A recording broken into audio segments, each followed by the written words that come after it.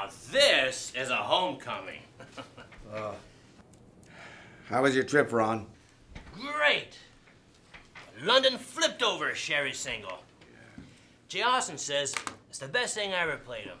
Here, see for yourself. Remarkable. Jay's writing is almost the same as yours. Hmm. Charlie showed us a copy of your October expense report. We have a few questions for you. Fire away. I intend to.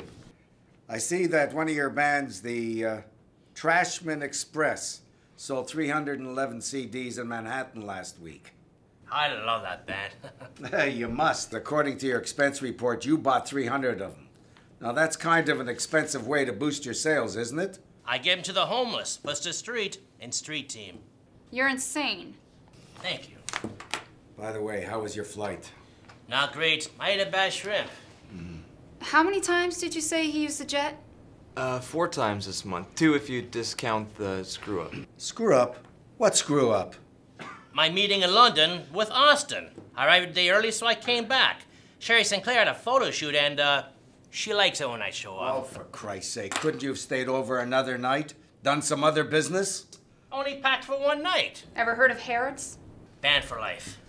You arrogant prick. That's why you pay me for. Not anymore. Paul and Charlie have their marching orders. We're closing you down today. You can't do that. I have a contract. Wait, wait, what, what about Sherry Sinclair? Her album's due out next week. The single's at radio already. That's your problem now. You've got one month to terminate all artist contracts. One month, Charlie. Clear? Windex clear. Jesus Christ, Walter. You can't do this to me. Do something.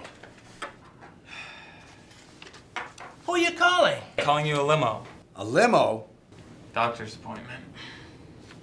Oh, yeah.